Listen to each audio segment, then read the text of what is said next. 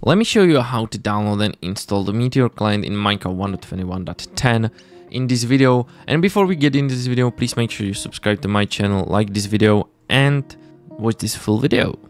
Okay, so first of all, go to the video description and click on the download link, please. It'll take you to the Meteor client 1.21.10.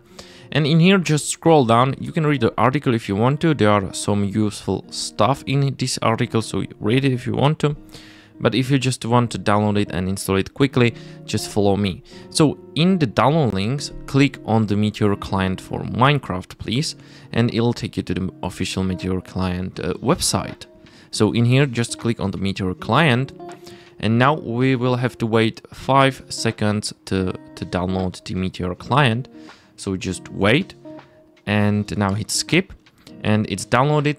And now we need to go back and click on the fabric, download the fabric loader. And uh, also we need fabric API now. So that's the second link in the video description. So again, click on that fabric 1.21.10 and uh, go to download links and fabric API.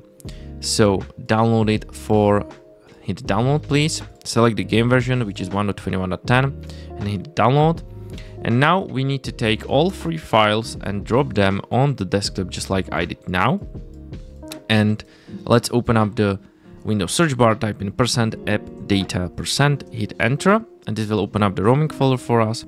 And in here go to the dot minecraft uh, look for for the mods. So here it is. Uh, let me put this one into alt and the meteor client should be in the mods folder and fabric API uh, also so fabric API and meteor client drop it into the mods folder now go to the versions double click on the fabric installer and a window will pop up and choose 1.21.10 and hit install as you can see, it has been successfully installed. And now let's uh, see if we can find Fabric Loader 1.21.10. And as you can see, it's right in here. So we can close that and let's open up the Minecraft launcher. And once we get in there, we need to make sure we're launching the correct version, which is Fabric 1.21.10 for us. So just wait. And uh, then we'll choose, sorry, Minecraft Java Edition and choose Fabric Loader 1.21.10 and hit play and let's wait until we get to the Minecraft menu because I need to show you that everything's working just fine. As you can see, it's downloading some stuff. So you just need to wait a bit and then we'll be in the Minecraft menu finally. So here we are. As you can see, the Meteor client is here. And uh, let's go to our world.